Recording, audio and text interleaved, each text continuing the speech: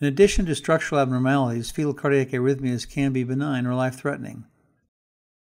This is a cine clip of a fetus with premature atrial contractions.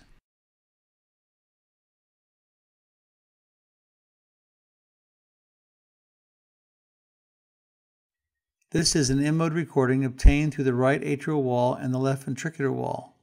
Notice the premature atrial contractions are followed by a long pause represented by the yellow arrows.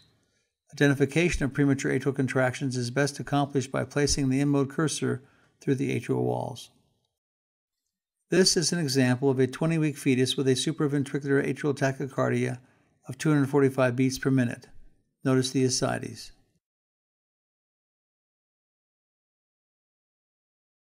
This is a cine clip from the fetus with supraventricular atrial tachycardia. The four-chamber view also demonstrates a ventricular septal defect.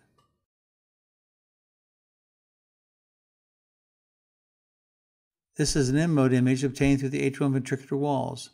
The atrial and ventricular rates are identical at 245 beats per minute.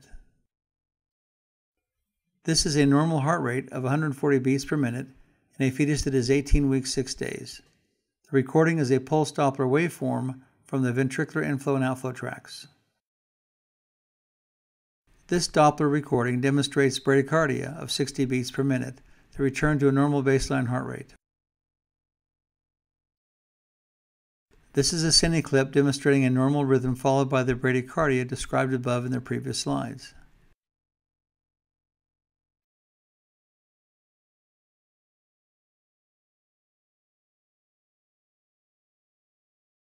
A third category of bradycardia is complete heart block, observed in fetuses with a structural heart defect or maternal antibodies transferred across the placenta from a mother with connective tissue disease.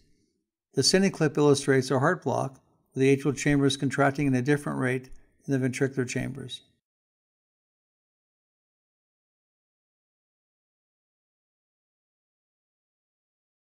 This is an M-mode recording through the atrial and ventricular walls demonstrating two distinct different rates independent of each other. In This example, the ventricular rate, demonstrated by the green lines, is 63 beats per minute.